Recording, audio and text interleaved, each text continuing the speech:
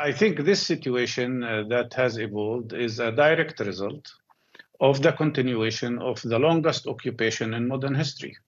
Israeli occupation of Palestinian land since uh, 1967. This is 56 years of occupation that has transformed into a system of apartheid, a much worse apartheid than what prevailed in South Africa.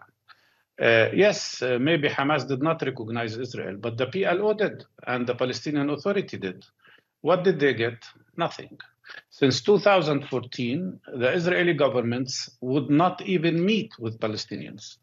And what you see today is a reaction to several things. First of all, settlers' terrorist attacks on Palestinians in the West Bank that has evicted already 20 communities in an act of ethnic cleansing.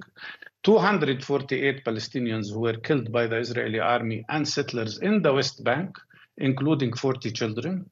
Attacks on the holy sites, the Muslim and Christian holy sites by Israeli extremists, as well as declaration of Netanyahu that he will liquidate the Palestinian rights and the Palestinian cause by normalization with Arab countries.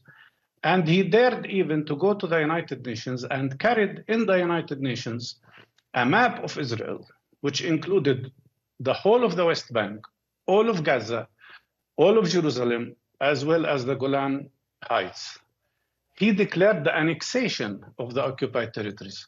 So, of course, Palestinians turned to resistance because they see that this is the only way for them to get their rights. The question here is not about dehumanizing Palestinians as is happening and calling them terrorists.